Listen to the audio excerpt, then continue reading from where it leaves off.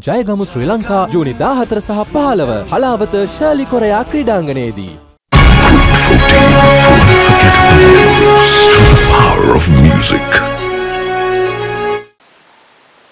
ඇත්තටම මේ අද පවත්වන ප්‍රවෘත්ති සාකච්ඡාවේ ප්‍රධානම හේතුව තමයි දැන් මේ වෙනකොට ඡන්දයකට අ, ඔන්න මෙන්න කියලා තියෙන බව පේනවා. දැන් මේ වෙනකොට අපේ රටේ ඔය 225න් එක එක එක අය එක එක සන්දාන ගහනවා. ඊට පස්සේ එක එක පැති මාරු කරනවා.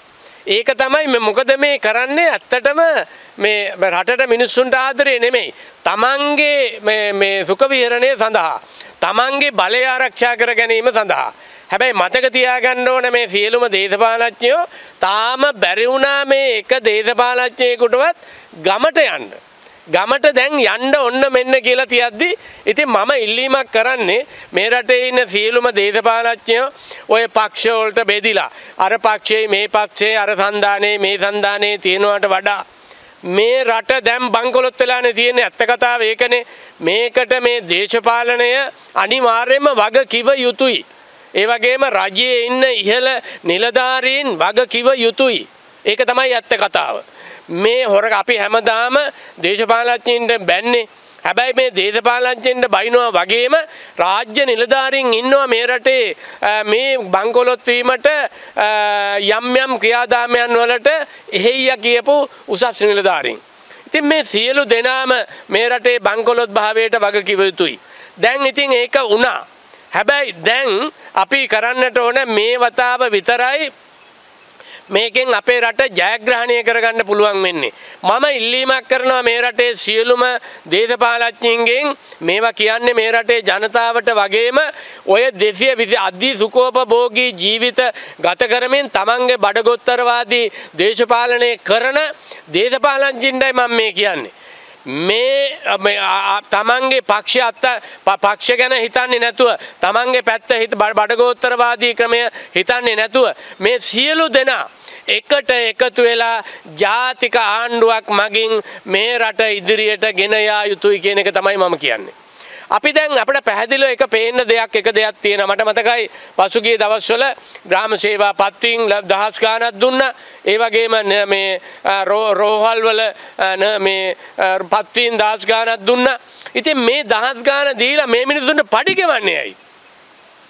මේ පඩි ගෙවන්නේ කොහොමද? මේ රට බංකොලොත් මෙච්චර බංකොලොත් වෙලා තියද්දි. ඉතින් ඒක නිසා මම කියන්නේ මේක මේ රට කවුරු බාරගත්තත් ඉදිරියේදී මේ රට කිසිම නායකයෙකුට කරන්න බෑ කියන එක තමයි මගේ පෞද්ගලික මතය.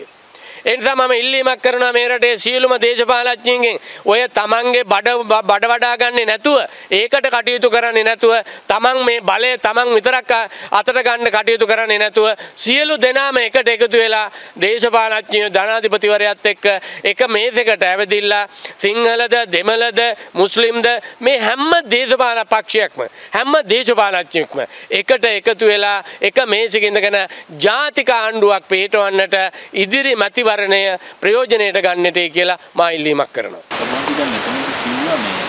පහුගිය කාලේ රස්සා දුන්නා කරවනවා ගොඩාක්.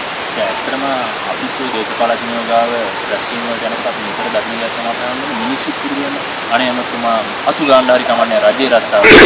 මේ දේශපාලඥ පස්සේ මිනිස්සු යන්න පුරුදු වෙන තමන්ට රස්සාවක් ගන්න තමන්ට වරප්‍රසාදයක් ගන්න උදළු මිටක් හරි උදැල්ලක් හරි ගන්න ඒ දේත් අපහන්නේ නතර වෙන්න. ඇත්තටම අපේ රටේ පිනට දෙන එක නතර කරන්න අවශ්‍යයි. දැන් මේ වෙනකොට හාල් බෙදනවා. ඒ වගේම අස්වැසුන ඩබල් ත්‍රිබල් කරලා මට පේන්නේ. විවිධාකාර වූ මිනිස්සුන්ට අ, ආධාර උපකාර බෙදනවා සිබින්ති බෙදනවා. ටකරම් පොතු බෙදනවා. වතුර මැචින් බෙදනවා. ඊළඟට හැම එකක්ම කරනවා මේ ක්‍රමය න- නතර කරන්න ඕන. රජයකට කරන්න ඕන මේ මිනිස්සුන්ගේ දක්ෂතාවයන් අනුව රටක් සංවර්ධනය කරන්න නම් දේශපාලඥයාගේ වගකීම තමයි මේ රටට අවශ්‍ය කරන යටිතල පහසුකම් සංවර්ධනය කරලා ඒගොල්ලෝ ද- ව්‍යාපාරිකින් ඒ වගේම විවිධ ක්ෂේත්‍රවල මිනිස්සු ඉන්නවා දක්ෂ. මේ රටේ පිටින් ගේන්න ඕනේ නැහැ මේ වාහන හදන්න මේ මේ රටේ මිනිස්සු ඉන්න ඕන තරම් ඉන්නවා. ඊළඟට තුවක්කු හදන්න මේ රටේ ඕන තරම් ඉන්නවා. ඒ වගේම අනිකුත් මේ මේ විවිධ නිෂ්පාදනයන් කරන්න මේ රටේ මිනිස්සු ඉන්නවා. මේ එක්කෙනෙකුටවත් මේ රජය කවද පවතින රජයක් කිසිම කෙනෙක් උදව්වක් කරන්නේ නැහැ නගා හිටවන්න වැඩපිළිවෙලක් හදන්නේ නැහැ. ඕක තමයි මෙතන තියෙන ගැටලුව.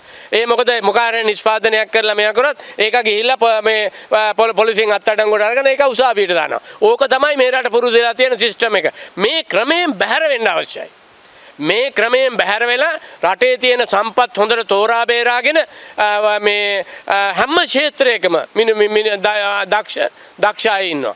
තෝරා බේරාගෙන ඒ අයව දිරිමත් කරලා යටිතල පහසුකම් සංවර්ධන කරලා මේ මිනිසුන්ට ජීවත් වෙන්න ක්‍රමවේදයන් හදලා දෙන එකයි දේශපාලනඥයක ආණ්ඩුවක් විසින් කළ යුත්තේ. අපේ රටේ එහෙම නෙමෙයි පුරුදු වෙලා තියෙන්නේ. අපේ රටේ පුරුදු වෙලා තියෙන්නේ UMPද ශ්‍රී ලංකාද ඊළඟට JVPද ඊළඟට තව සමගි ජන බලවේග මේ ඔක්කොටම යන්නේ මොකටද? මේ මිනිස්සු අවුරුදු පු- පුරුදු උනේ තමන්ගේ පෞද්ගලික ලාභ ප්‍රයෝජන සඳහා ප්‍ර- දේශපාලනඥයා පිටිපස්ස යන්නේ. හොඳම උදාහරණයක් කියන්න මම ඊයේ ගියා මේ අන් රජරට අ, ප්‍රදේශයේ ම- පාර්ලිමේන්තු මන්ත්‍රීවරයෙක් අවශ්‍යතාවයක් අනුව මම හම්බ වෙන්න ගියා. ඒ හම්බ වෙන්න යනකොට එතන හිටියා දෙදාහකට වැඩිය. මේ හැම කෙනාම හාමුදුරුවරුත් ඒ වගේම හිටියා.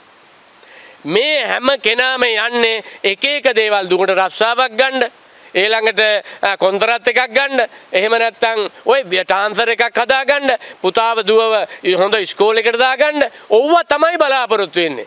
ඒක නිසා මේ ක්‍රමවේදයෙන් අපි බැහැරවිය යුතුයි මේ රට. ගොඩනගන්න නම් අපි මෙතනින් බැහැර වෙලා මේ දේශපාලඥයෝ කියන කෙනා ගරු සේවයක් හැටියට පාවිච්චි මේ මේ පාවිච්චි කරලා. මේක විධිමත් ලෙස පවත්වගෙන යන්න නම් මා දකින එකම දේ තමයි ජාතික ආණ්ඩුවකට ගිහිල්ලා මේ තියෙන සීලුම ක්‍රමවේදයන් මෙතෙක් ගෙනාපු මේ ක්‍රමය මේ රටෙන් තුරන් කරලා වැඩපිළිවෙලකට යන එක තමයි මා දකින එකම දේ. ඔබ වහන්සේ අර ඉස්සෙල්ලා කිව්වා කවුරු ආණ්ඩු කළත් රට ගෙනියන්න බැහැ කියලා. ඒක මේ එහෙම කියන්න හේතුව මොකද? ඒක හේතුව කියලා කියන්නේ කවුරු කළත් ආ මේ රට කව- කවුරුපත් වුණත් මේ රට අද මේ වෙනකොට ජීවන වියදම කියන එක ඉහවහ ගිහිල්ලා තියෙන්නේ. සාමාන්‍ය කෙනෙකුට ජීවත් වෙන්න බෑ. ඉස්කෝලේ යන ළමයෙකුගේ පොතක් කීයද කියලා බලන්න. ඊළඟට ඉස්කෝ මේ බෙහෙත් පෙත්තක් පාමතියට ගිහිල්ලා බ- බලන්න බෙහෙත් පෙත්තක් කීයද කියලා අසරණ මිනිස්සු බෙහෙත් ටිකක් ගන්නක ඒක නිසා මේ රට ජීවන වියදම ඉහළටම ගිහිල්ලා තියෙන්නේ. ඒ වගේම තමයි මේ රට ණය බරින් මිරිකිච්ච රටක්. හැබැයි මතක තියාගන්න ඕන මේ රටේ ජනතාව මේ ණය ගෙවන්න නැති නිසා තමයි ඔය දැන් මේ තත්ත්වයට පත් වෙලා තියෙන්නේ. හැබැයි ණය ගෙවන්න වෙච්ච දවසට මිනිස්සුන්ට බදු බර කියන එක ඊ타මත්ම ඉහළ මට්ටමින් දැන් බදු ගහලා තියෙන්නේ. එදා තවත් ඉදිරියට බදු වෙනවා. ඒකයි මම කිව්වේ මේ රටේ කිසිම මොන කවුරු ආණ්ඩු ගත්තත් කවුරු බලයට ආවත් මේ රටේ කිසිම අවස්ථාවක මෙතනින් එහාට මේ රජය මේ රට හදන්න ක්‍රමවේදයක් කිසිම කෙනෙකුට පුළුවන්කමක් ඇති වෙන්නේ නැහැ. ඒකට විසඳුම තමයි අර මම ඉස්සරලා කිව්වේ ඇත්තටම දේශපාලඥයෝ බෙදෙන්න අවශ්‍ය නැහැ දැන්. තමන්ගේ මේ හැම කෙනාම ලෑස්ති වෙන්නේ මේ මේ රැස්වීම් තියනවා නොයෙක් දේවල් කරනවා. හැබැයි මේවා ඔක්කොම අපට ඡන්ද දියන් අපට බලය දියන් කියලා නෙමුන් ඉල්ලන්නේ. එකෙක් ගැන එකෙක්වත් රටේ රටට රටේ තියෙන ප්‍රශ්න ගැන කතා කරනවද? එකෙක්වත් රට රටේ තියෙන මේ සංවර්ධනය ගැන මේ ණයබරින් මුදා මුදාගන්නේ කොහොමද? මේ රට ඉදිරියට අරයි යන්නේ කොහොමද කියලා ප්‍රතිපත්ති ප්‍රකාශනයක් තියෙනවද? ඉතින් ඒක නිසා මම කියන්නේ මේ ඡන්ද වෙලාවේ කරුණා කරලා මිනිස්සු හොඳට කල්පනා කරලා ඡන්ද දෙන්න ඕන ඊළඟපත් වෙන කවුරු හරි කමක් නැහැ. හොඳ නායකයෙකුට ඊළඟට අනිත් එක තමයි දැන් මේ රටේ ජනාධිපතිවරයාගෙන් මම ඉල්ලීමක් කරනවා. මේ දේශපාලඥ සියලු දෙනාගෙන් මම ඉල්ලීමක් කරනවා. මේ දැන් උඹලා මේ බෙදිලා වෙන් වෙලා පක්ෂ පාට වලට හිටිය හොඳටම ප්‍රමාණවත්. උඹලා දැන් ජාතික ආණ්ඩුවකට ගිහිල්ලා ඔක්කොම රට එකට තියලා රට සංවර්ධනය කිරීම රට මේ ණයබරින් මුදවා ගැනීම රටේ ආර්ථික සංවර්ධනයක් ඇති කිරීම අධ්‍යාපනික වශයෙන් සංවර්ධනයක් කරී ඇති කිරීම මේකේ වැඩපිළිවෙලකට යන්න. මේ රටේ ජාතික ප්‍රතිපත්තියක් නැහෙනේ. ආර්ථික සංවර්ධනයක් ඇති කරන්න ජාතික ප්‍රතිපත්තියක් නැහැ. අධ හොඳ අධ්‍යාපන ක්‍රමයක් ඇති කරන්න ජාතික ප්‍රතිපත්තියක් නැහැ.